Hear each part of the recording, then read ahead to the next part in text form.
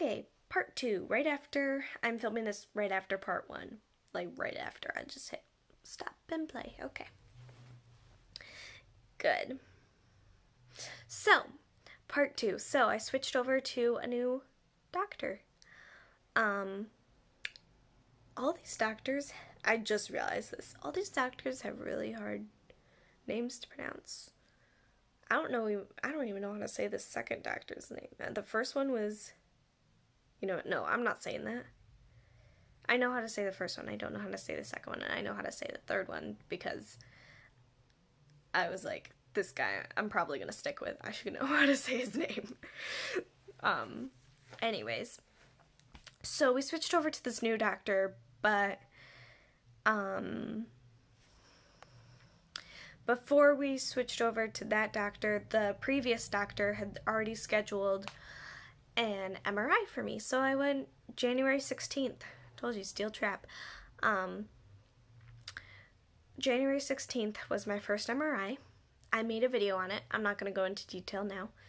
But um, then Corona happened. Yay. So I actually did not meet with that doctor until April 20th and I it was over Zoom.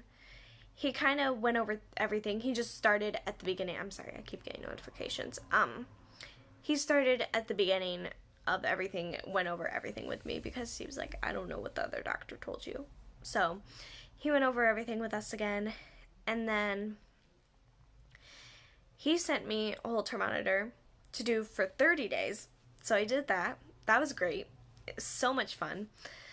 Um, I just did another Holter monitor.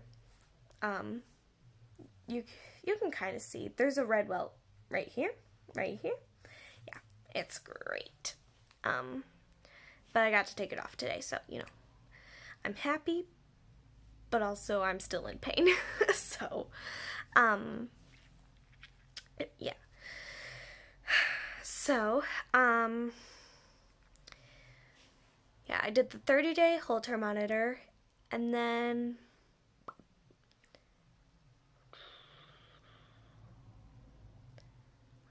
did I have another appointment with him? I, guys, this is why you don't do impromptu things. I need to do some research. I must have had a I do not remember. Because I know somehow I found out that he didn't find anything on the Holter monitor, but I don't know if it was online I figured that out or if there was another appointment that I'm completely forgetting. I know I never met him in person though. I don't know. And also the MRI, they didn't get good pictures. So I don't think I ever said the name of the hospital, and I'm not going to now. I'm just trying to think back. Did I say the name of the hospital? Because I should not have, because I don't want to throw them under the bus. Um, but I shouldn't say hospital, doctor's office. Um, I always say I'm going to the hospital, and people are like, "What?" Like it's a doctor's office. I'm sorry, it's a doctor's office in the hospital. Um, anyways, um, but I don't even remember what I'm talking about. You guys, I'm so sorry. I I need I need to figure out how to edit these videos or hire my brother too. I could I don't know. He'd probably be happy to do it for free, but you know, I might pay him anyways. Doesn't matter. Why am I talking to you about this? Um so my mom tried to call in to get appointments for genetic testing because they said that that was the next step. Did I meet that doctor? I am just remembering I went in for genetic testing and all they did was go over my family tree and then didn't get anything else. And that was at the previous doctor. But I don't think I ever met my actual doctor. I do not remember you guys. I'm so sorry. Um, the point is, she tried to get us in for um, it wasn't genetic testing. She tried to get us in for a stress test.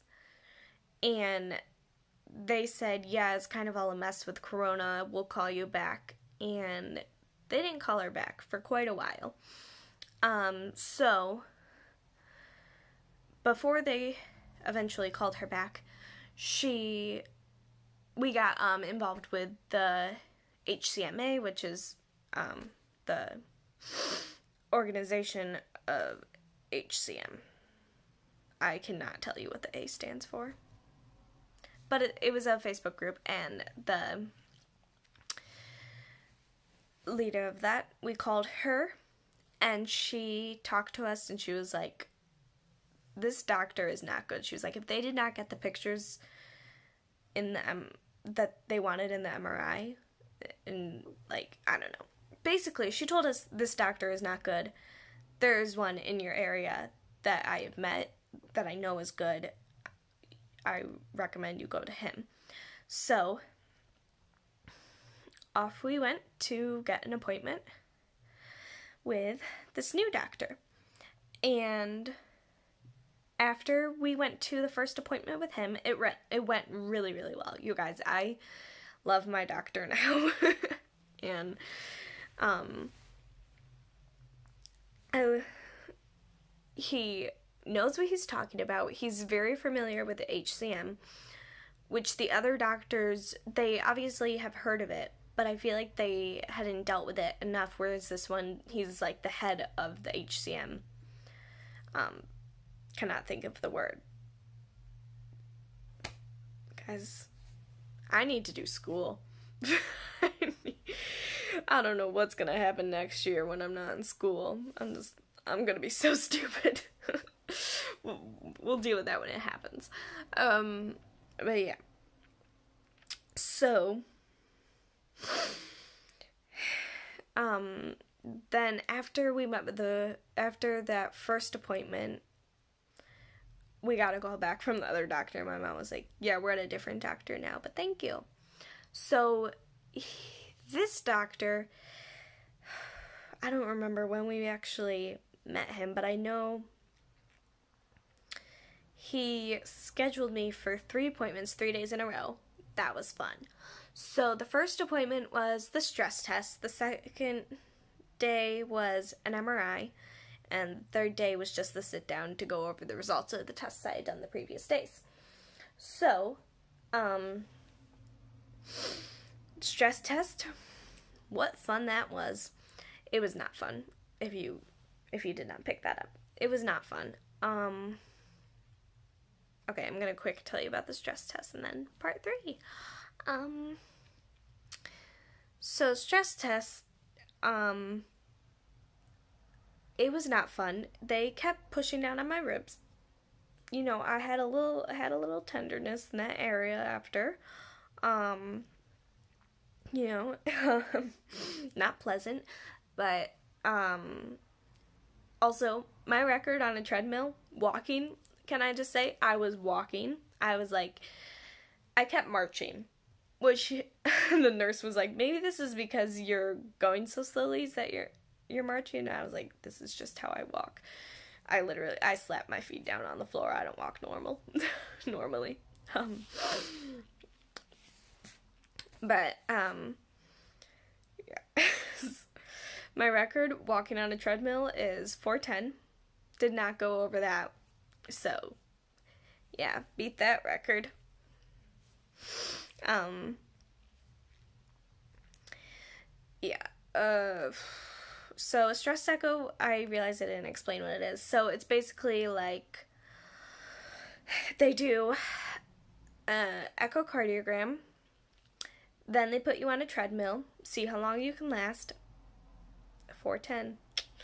And then as soon as you start feeling symptoms or a little bit after, as soon as you can't go anymore, they say, "Okay, jump onto the table again. We're doing an echo."